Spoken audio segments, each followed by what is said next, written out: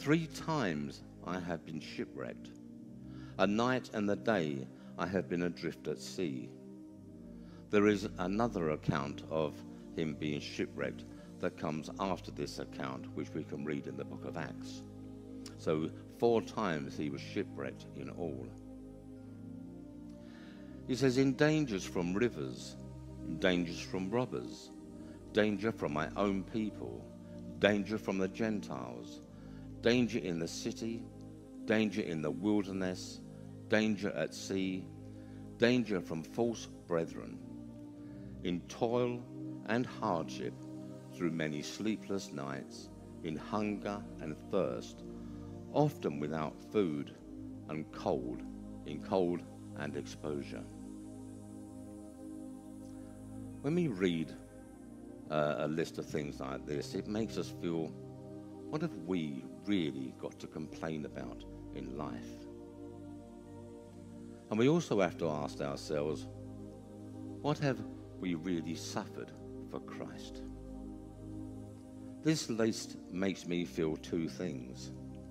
Firstly, that I am so grateful that the Lord has never asked me to endure anything like those type of things that Paul had to, had to suffer. He could have, of course. He could have asked any one of us to suffer like that. But thankfully, he hasn't. And secondly, I wonder if I was ever in those type of situations, would I react in the same sort of way as this great apostle Paul has to endure such things for Christ? We can't just read this list, can we, and, and not be impressed with what Paul has endured for the Lord. And then Paul tells us of the great anxiety which he suffered on a daily basis in verses 28 and 29. And apart from other things, there is a daily pressure on me of my anxiety for all the churches, who is weak and I am not weak. Who is made to fall, and I am not indignant, and am I not indignant? It really is hard enough on occasions to bear the burdens of one church with its ups and downs and the things that go on behind the scenes.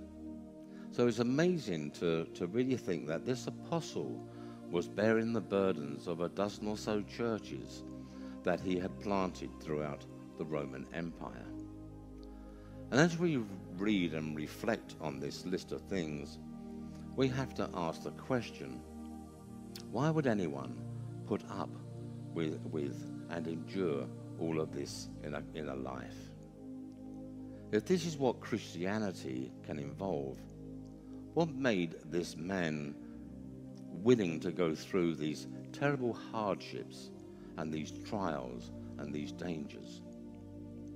He knew, of course, there would be great dangers from people who were in opposition to the faith. Because we know um, when, when Paul was one of the biggest threats to the church when he was a Pharisee, he was persecuting Christians, having them thrown in prison, or even having them put to death. Paul knew all of this. So, what was it that motivated him to persevere?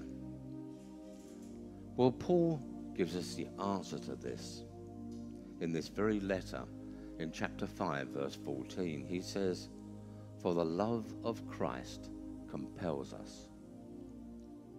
It was this gratitude that Paul had for the, for the risen Lord, who not only forgave him, but filled him and restored him.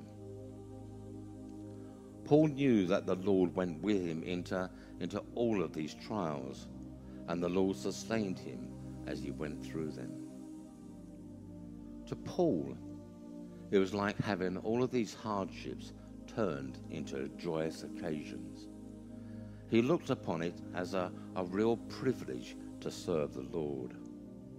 And this showed in, in the love that poured out from Paul as he, as he ministered to those around him. And as we